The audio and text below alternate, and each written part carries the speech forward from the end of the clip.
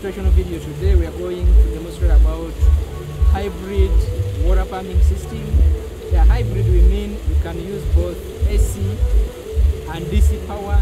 DC we mean direct current. Direct current can be energy from solar panels, uh, from batteries, or any device that produces direct current, like some generators.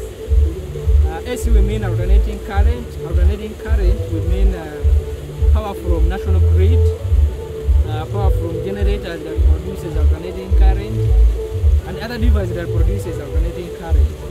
So our system today can use both uh, DC or solar.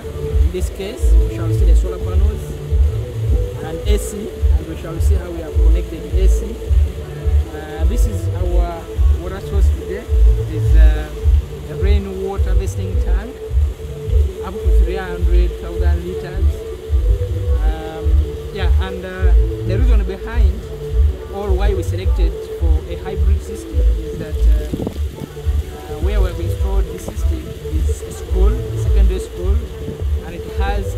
Section on it. Uh, so in that case, during rain seasons um, and maybe cloudy days, you know, the, the water demand may reduce, but um, do not, it, it will not reduce much like irrigation. For irrigation, you can only use you can use only solar, but for uh, purposes where the water demand doesn't or don't fluctuate much, may need a hybrid system. But also there are other factors considered, like the water source, uh, usage patterns, and etc. And we have selected uh, an automatic system so that we don't have blackout of water during like at night um, like maybe when students wake up at around 5 a.m uh, so when the system is automatic it means when they use part of the water. The pump refills that water and it keeps the, the it keeps the um, the main reservoir or the source reservoir or the tanks with water always. Yeah we're going to go uh, and see our tanks. Uh, but from a distance my camera my camera woman can show you the tanks connected in uh, parallel and we shall see the controller then uh, and controller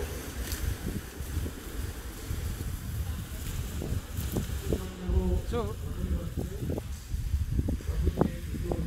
um, so the other advantage of our controller is that you don't need a water level switch in the well. So when when when the water level goes beyond the uh, the, the the pump level, it will automatically switch off and give you an error on the on the controller. Okay, let me put back and then we can see the tanks and the other system components. Yes, those are our tanks. Uh, two tanks of 10,000 liters each connected in parallel. So uh, we have connected um, a tank level switch in that tank, in the upper tank. So the upper tank fills the lower tank, and the lower tank we have connected a manual uh, float ball valve. So when the lower tank gets full, the valve closes and then the upper tank starts filling and when the upper tank gets full the water level switch uh, connected through that pipe up to the ground and up to the controller that is inside um, the controller will turn off the pump automatically so there is no overflow there is no wastage of water and there's no need of uh, any person being there to monitor whether the tank gets full or when it gets empty. So when part of the water is used um, and the water level goes below the level switch the controller will automatically switch on the pump and then it fills what will have been used uh, so these are solar panels. We have connected four of them. Um, and that wire takes power from the solar panels uh, to the controller through a circuit breaker. So let's go and see the controller and then the features of the controller. Yeah so our wire from the uh, from the level switch in the upper tank come through that pipe uh, buried underground goes through that conduit uh, goes up and then uh, up to the controller inside let's go and see the controller inside. And let's see our reservoir from a distance. Yeah that is the, the reservoir from a distance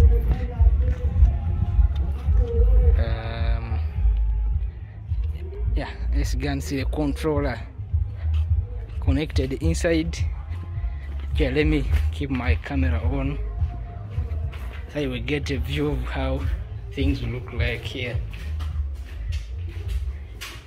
Um, we are currently pumping water but only using DC that's why the DC uh, the DC lighting is lighting green. Um, but we, we, in this controller we can have both AC and DC and we can set different parameters. Yeah let's first see um, our circuit breakers. So these two circuit breakers one is for DC and now the for DC uh, it's currently closed so it is allowing in power to go to the controller. And AC is currently off but we are going to uh, switch it on for demonstration purposes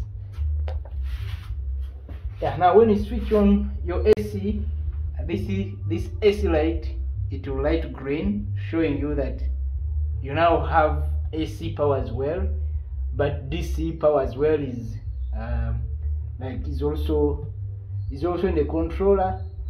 Uh, so when we come to operations modes we have DC AC uh, automatic or auto and hybrid uh, and our controller you can the RCL is remotely controlled lighting. Uh, you can put your SIM card inside and you can switch on and off the system or the controller wherever you are so long as you have um, internet. Um, yeah I'll open and see our SIM card but let's understand what these uh, operation operating different operating modes mean yeah the DC you can select only DC whereby even if AC is available um, the controller will only use DC so you, you won't be metered for AC and the rest will be present in the controller. You can select only AC uh, let's select and see. So you can switch to only AC and you leave out DC um, however much you have DC present in the controller. Um, yeah it means now the pump will only be running on AC you can select auto automatic or automatic. Automatic means that uh, um, the, the the controller will select AC only if DC power is insufficient is not enough to run the pump. But if there is uh, there is any DC power that is uh, that mean that, that that meets the minimum voltage required and current the controller will only select DC even if AC will be uh, will be available. For example at night when there's no sunlight and you have selected auto or automatic the controller will continue pumping so long as uh, um, it is filling it like it is uh, delivering water somewhere. When the tanks are not uh, full you can select hybrid. Okay the advantage of automatic is that most of the times you'll be using dc so you'll be using less ac and you only use ac during night and early morning or on a very cloudy day. Um, let's select hybrid yeah you can select hybrid. Hybrid means that when there is uh, uh, when there is insufficient DC um, the controller will compensate the balance of the power with AC such that it runs the pump at maximum output. Yeah let's see inside how it looks. So that is our sim card and the different wires